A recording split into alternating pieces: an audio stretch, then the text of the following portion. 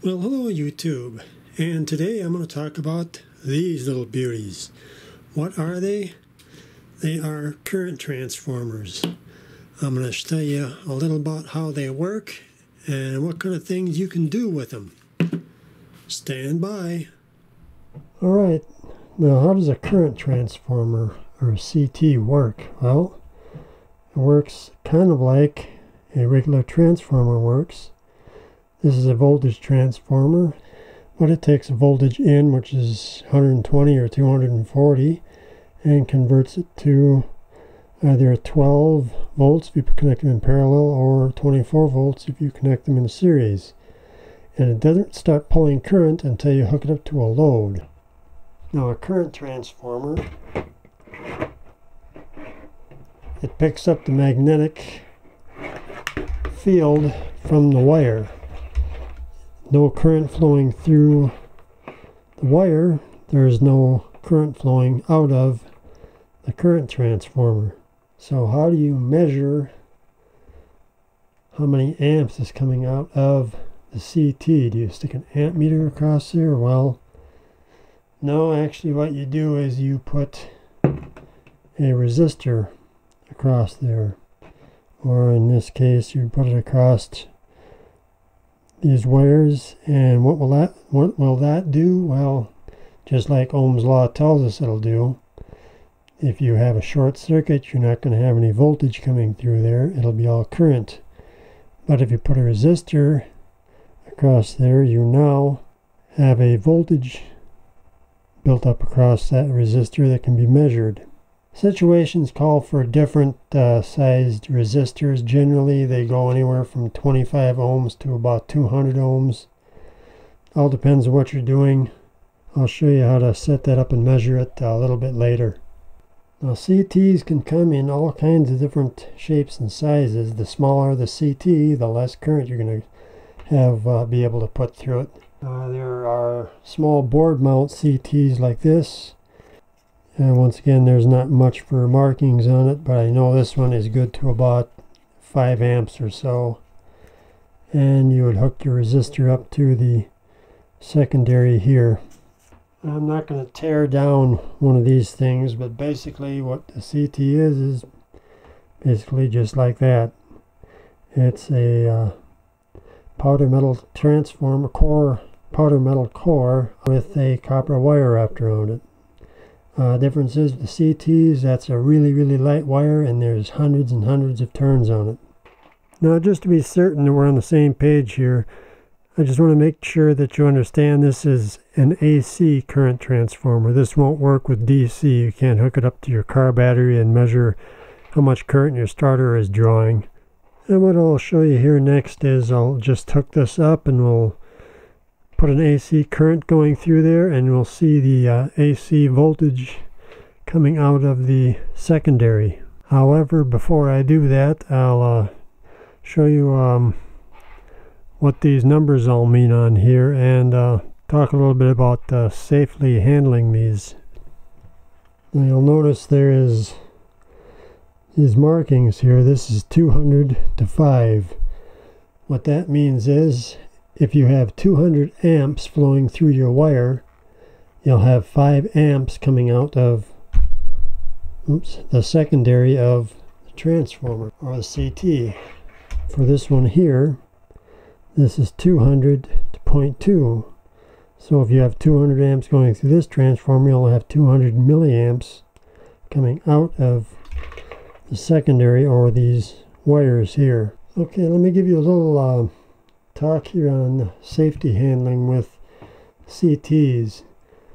If you have your wire through it and you have current going through it and you leave it open like this or you've got this type of CT and you leave the wires open you can damage the CT not to mention if you touch that you're going to get a pretty good shock the voltage coming out of there can be pretty high it can actually be high enough to melt down the the wires and things that they've got on there.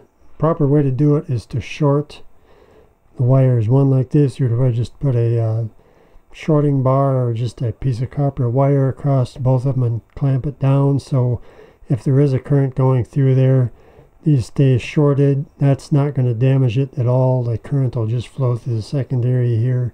One like this, you would basically just uh, tie the wires together and that'll be shorted. All right, let me show you what I got going on here.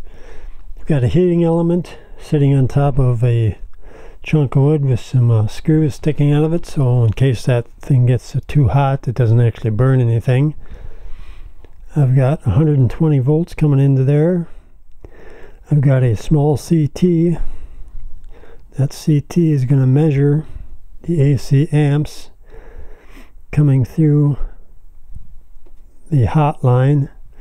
It's going to turn that into a voltage when I through that 100 ohm resistor I've got across the CT. I'm going to measure that with the voltage with a voltmeter here and we'll measure the actual current going into the element with our current with our current meter. I'm going to control the current with this Variac. Okay, I've got this thing hooked up and ready to go. Power's on. AC amp meter and AC voltmeter. I'm going to go ahead and start cranking this thing up. Crank it up to 1 amp here and see what we get for voltage.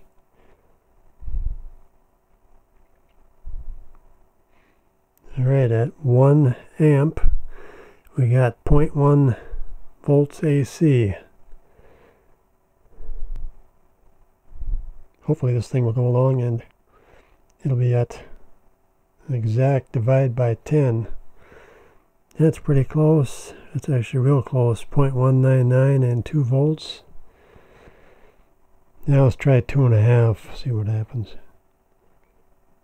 There's 2.5 amps and 0.245 volts AC coming off the CT.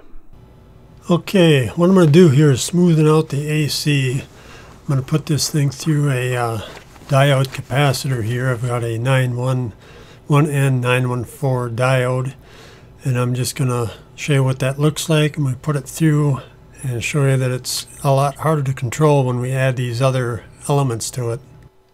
Now, I've got a 100 ohm resistor across the CT and that's just too low. You have to get it above the 0.7 volt drop of the diode to really make this thing work properly. In these lower uh, amp amounts, it's just not, there's not high enough voltage across that 100 ohm resistor. So I'm going to have to go ahead and bump that up and I'll take out the decade resistor box to do that. All right, here is the uh, decade box, and I'm going to go ahead and just crank this up to about 500 ohms, and I'll play with it and see what I need to do here. Now this is better here. I've got a half amp going through there, and I've got 50 milliamps coming out. Still not great, but it works a lot better. Actually, I have 600 ohms across this thing. And I'll just go ahead and crank it up to an amp and see what happens. And you can see what's happening here is this is now up to 300 milliamps with 1 amp in there, which means the resistance would actually have to come back down.